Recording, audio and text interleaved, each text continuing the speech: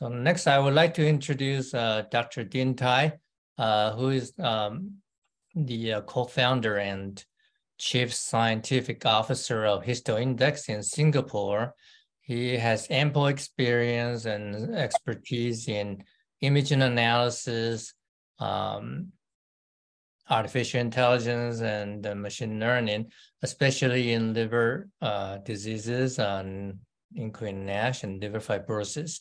So uh, we will we are very happy to have uh, Dr. Dean Tai to join us. Please, Dean. Thank you, Matthew, for the introduction and the organizer for inviting me to give my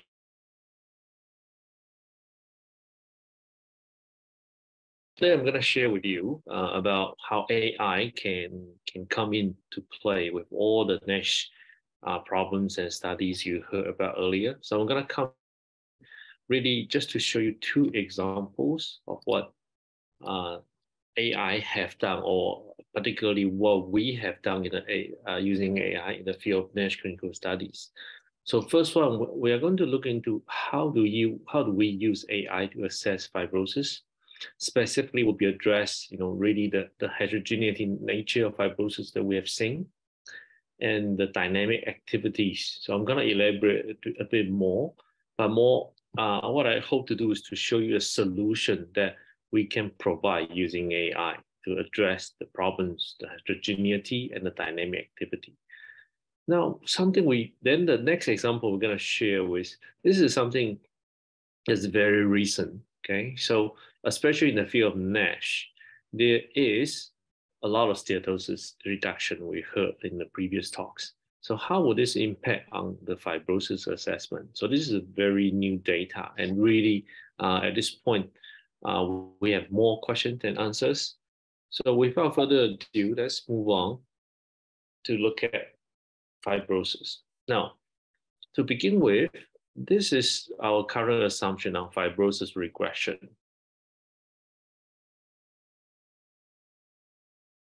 we know NASH CRN system is being used to assess fibrosis in NASH patients. It goes from zero to four, very similar in all other disease. And we assumed regression is a four to one, four to zero is a direct reversal. And if we do quantification, it's a mirrored image. You see the red arrow and the green arrow. The red is the progression and the green is the regression. They are identical okay? And this is actually the assumption, okay? And it has been used in all clinical trials, used in all uh, development of the drugs, etc. But this is the actual needle biopsy sample we have seen, okay? So this is a needle biopsy from a NASH clinical trial. And you can see that you can see bridging fibrosis, uh, fibrosis. So for this biopsy, we will call it F3. Now, if we get a biopsy looking like this, uh, where you have a nodule feature in the middle, this is a F4. So that is quite clear. This is a progression because you go from F3 to F4. If you get a needle biopsy, uh, you no longer have bridging fibrosis. You don't have nodule fibrosis. You only have periportal perisinusoidal fibrosis. This is a F1 or F2 kind of fibrosis. Again, you can call it regression because it's from F3 down to F1 or F2.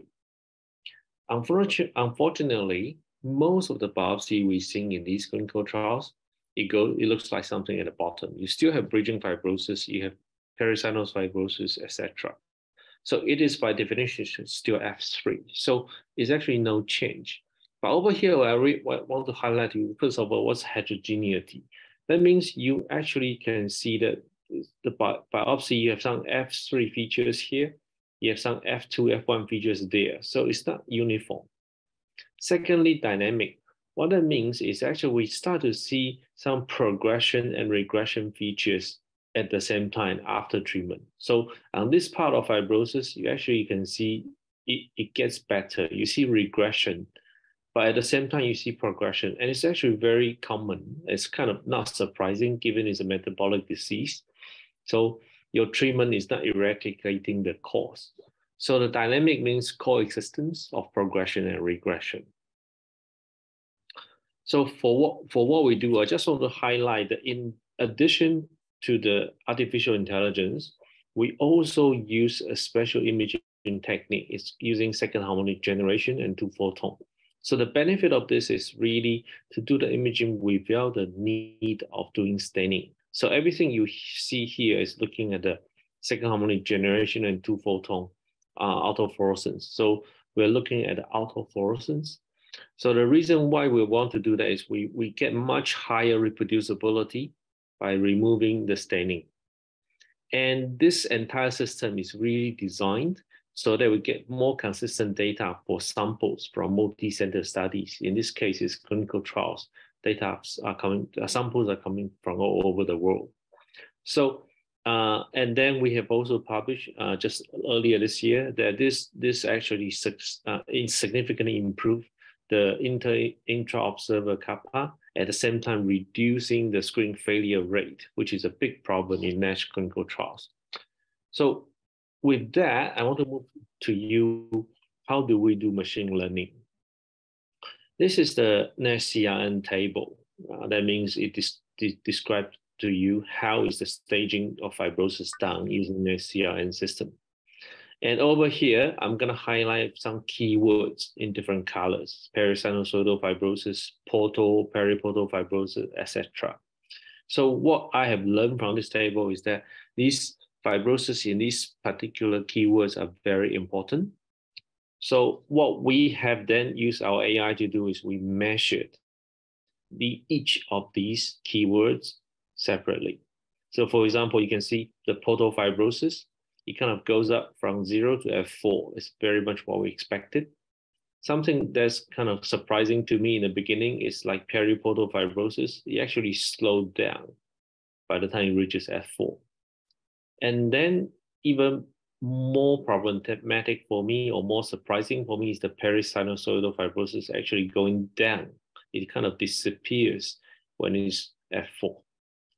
So on top of that, you have bridging fibrosis that really starts at F3. Nodule fibrosis really starts at F4. So I think these are uh, the data that we have seen in clinical trials. Uh, while it is not surprising to most of the pathologists. In fact, most of the pathologists, they are kind of aware too. But this is where really contradicts, you know, very first assumption that regression and progression is the same. Because looking at this way, you have many ways to progress. And that also means you have many different ways to regress. So uh, we think we develop a better way to visualize such kind of multi-dimensional data. So radar map is one example we we use often to look at that data from multiple dimensions. So using a five-dimensional radar map, looking at the five features, this is now what the first biopsy looked like just now, okay, using radar map. And you can see our AI is quantifying all these five key features, and you can see a blue shape here. Now you get a second biopsy just now. You, you now you now can see overall area go in, increased, so it's getting worse. But at the same time, you can see where is the progression happening. Or alternatively, you can also look at the regression in, in the, the green. So what we are showing to you is that in the current assumption or the current way of doing it, people just take uh, one number, which is what we call the total weighted score. You can kind of translate that to the fibrosis staging.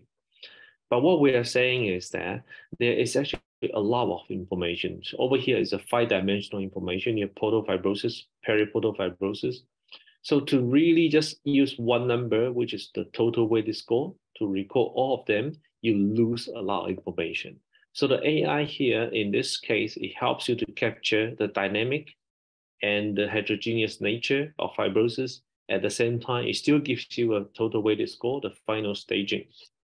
So it, it helps you to better understand what's happening in fibrosis. Now I'm gonna move on to talk about steatosis reduction and how is affecting fibrosis potentially. So this is a, a, work done by Dr. Stephen Harrison, who was the earliest speaker. This is uh, data from one of the clinical trials. Uh, that was published in 2021. Okay, so this is a study with the aldafermin. This is a top line data that's uh, released. In short, they have shown st statistical significant liver fat content. So you can see in placebo, a 2.7% reduction, and treated group, 7.7% reduction. So while there's a, such a high uh, uh, liver fat reduction, but you see the fibrosis improvement and the NASH improvement, as well as the fibrosis and NASH improvement, although there is a trend in the treated arm, but it did not reach statistical significance. Okay, so then we take our methodology looking at this data. So on the left, this is uh, the pathologist read on all uh, the patients. So the regress patient, meaning the patient's fibrosis go down by one stage, no change, or progress, meaning goes up by one stage or more, okay? So over here from the pathologist read, you can see the fibrosis and the steatosis result. In the middle is we're using the AI to do a AI read on fibrosis and steatosis. On the right is what we call continuous read. So this is really where we don't use the stage one, two, three, four. We use AI to measure fibrosis directly as quantitative measurement. And then we look at the quantitative change. So over here, what I want to highlight to you is that uh, for steatosis, you pretty much see the same trend. You, they reached statistical significance uh, with read, with AI read all over the place. But on the top, you see fibrosis. It did well. It did not reach statistical significance, but it did reach eventually. If you use fully quantitative measure on the top right, the continuous value, you actually see treated patients reach statistical significance. So, so it shows you that there are some changes. Now the question is, where are these changes? Okay, so we really dive down to use AI. This is again using AI. So looking at, you know, is potentially is steatosis, is that affecting fib is steatosis reduction affecting fibrosis assessment? So this is one example. This is a, a study from resmetirom Madrigal phase two. And so together with Harrison, we published it, uh, we, we, we looked into this. This is a patient with F2 fibrosis at the baseline and F1 fibrosis at the end of treatment at week 36. So it is improved in fibrosis. But at the same time, we see a lot of uh, fat reduction. So you see MRI-PDFF reduction, 47%. At the same time, you see liver volume reduction, 28%. So something we we we kind of anticipated, but it's kind of also surprised to see a liver volume reduction that much as well. But if we look at the AI assessment, so this is looking at the pathologies, uh, what, what trying to see what pathology is looking at. So you can see over here the portal tracts, the central vein. But what I want to highlight to you is this teal area zone two. Okay, so basically this is the area outside portal tract, outside central vein. So in the baseline, it takes up 78% of the area. At the base uh, end of treatment is 71% of the area. So it doesn't really change much. So what we are trying to say is that vis visually, it seems like there's not much difference. You know, while there's this, this drastic steatosis reduction, it didn't really change much the architecture. If you just look at it, it's pretty much similar. So with that in mind, then how, where can, uh, we just again want to see further, can steatosis uh, reduction of fibrosis, where is it happening? So this is another paper we published in Journal of Pathology earlier this year. So what we did here uh, is really looking at uh, steatosis corrected fibrosis and looking at different zones. Over here, you see the portal area, periportal area, transitional, pericentral, and central area, okay? So um, I'm gonna show you what the methodology did. So this is what we mean by steatosis area correction. So over here, you the full tissue left, you hide outline in the white color. This is from needle biopsy. So you can see the white color shows you where the full tissue area is. And then on the right, you see the steatosis area, which is shown in blue. Okay. So what we did is we we we reduce we deduct the steatosis area from the full tissue area. So what you left at the bottom is the tissue area with steatosis removed. And this is how we use the fibrosis, uh, uh, sorry, how, this is how we define tissue steatosis area correction. Okay, so with this definition and the methodology we, we published in Journal Hepatology, we applied the same methodology uh, with the, the data you seen earlier.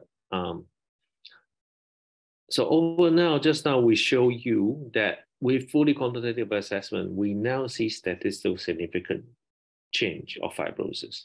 And this now enables us to see where those changes are. So over here, you can see that uh, we, with a placebo and treated group, in the periportal region, okay, you see the treated group fibrosis reduction. Now we reach statistical significance, of P of 0.02. So it shows you that the fibrosis improvement is centered, around the periportal region. So this is the kind of tool that we, the AI can help to investigate uh, the questions. So uh, just now I show you just one parameter of how it is done. So what we did with our AI is that there's 184 parameters. Okay, I'm not gonna highlight. I'm not. I'm not going to get to go into to all of them how it is done.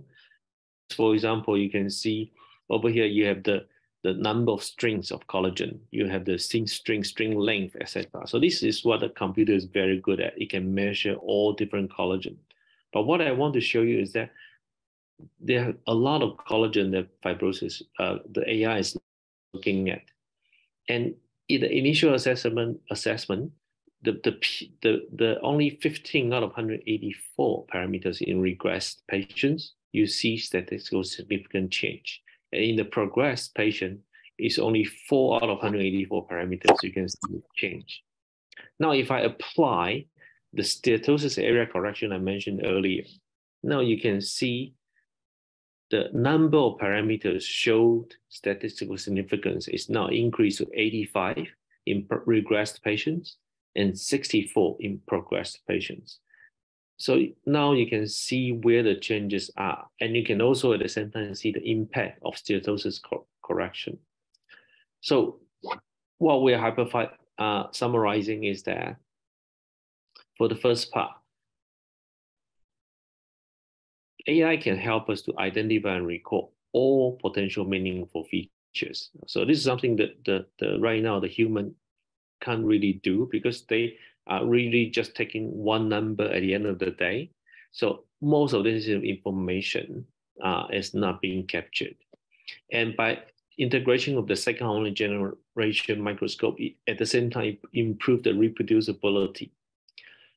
And with visualization tools like radar map, then it gives you holistic and yet specific view of fibrosis changes. So with this, if we integrate with the steatosis reduction, so what we, as we have seen is that steatosis reduction is drastic in a very clinical trials. This can be as fast as 12 weeks in some of these trials, the, the one I showed you earlier. But it is our hypothesis is that if the fibrosis does not resolve so fast in the 12 weeks, then the impact of drug therapy on NASH fibrosis regression can be more cannot reflect accurately and it can be more appropriately assessed by methods such as steatosis area correction. So we basically, with this assumption, the data can show where the fibrosis is changing. So while this current data underscore the need of consider impact of this hepatic change on fibrosis. So we really need to look at this when we design our clinical trials especially with the ones that really regress hepatic fat. Okay, so to summarize, this help us to understand, to investigate what we do not know about fibrosis. These are something we just learn as we go in clinical trials. So uh, the very last summary is the role of AI is really essential to understand the mechanism of action of drugs and for designing later phase clinical trials. And it is critical you consider these issues and collect this data now for your uh, clinical trial eva uh, evaluation. So with that, I'd like to thank you and wrap up the session. Thank you.